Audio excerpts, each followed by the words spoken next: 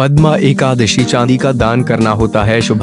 भाद्रपद के शुक्ल पक्ष में पड़ने वाली एकादशी को पद्मा एकादशी के नाम से जानते हैं। इस साल यह एकादशी 9 सितंबर के दिन है। ऐसी मान्यता है कि चातुर्मास के शयन के बाद भगवान विष्णु इसी दिन करवट बदलते हैं। हमारे शास्त्रों में इस एकादशी का बहुत ज़्यादा महत्व बताया गया है। राक्षसों द्वारा स्वर्ग छीन जाने के बाद इस दिन देवताओं ने दोबारा स्वर्ग हासिल किया था। इस खास दिन भगवान विष्णु और माता लक्ष्मी की पूजा की जाती है।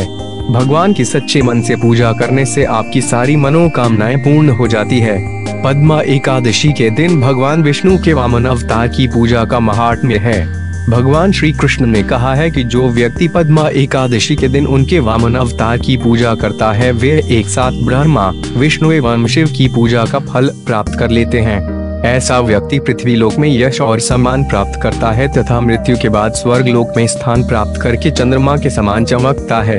पद्मा एकादशी के विषय में शास्त्र कहता है कि इस दिन चावल, दही एवं चांदी का दान करना उत्तम फलदायी होता है।